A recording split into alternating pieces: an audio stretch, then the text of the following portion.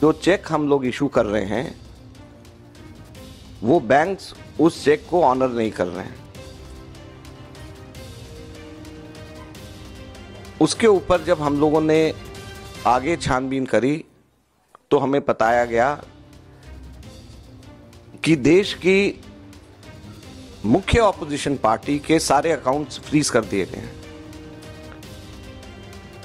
Congress party के accounts पर तालाबंदी हो गई है।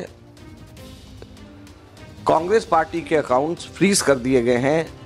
हमारे देश में लोकतंत्र पर तालाबंदी हो गई है। और ये कांग्रेस पार्टी के अकाउंट्स फ्रीज नहीं हुए हैं, हमारे देश में डेमोक्रेसी फ्रीज हुई है। ना केवल कांग्रेस पार्टी के, कल शाम को यूथ कांग्रेस के भी अकाउंट्स फ्रीज कर दिए गए।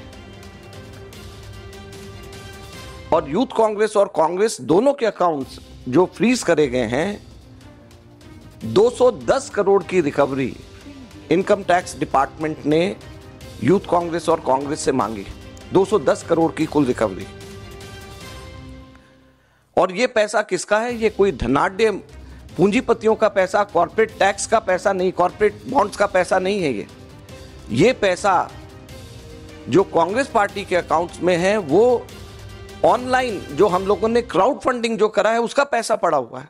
हमसे जुड़े रहने के लिए हमारे YouTube चैनल को सब्सक्राइब करें और नई वीडियो की नोटिफिकेशन के लिए बेल आइकॉन को दबाएँ। अगर आप ये वीडियो फेसबुक पर देख रहे हैं तो लाइक ज़रूर करें और ज़्यादा से ज़्यादा शेयर करें। धन्यवाद।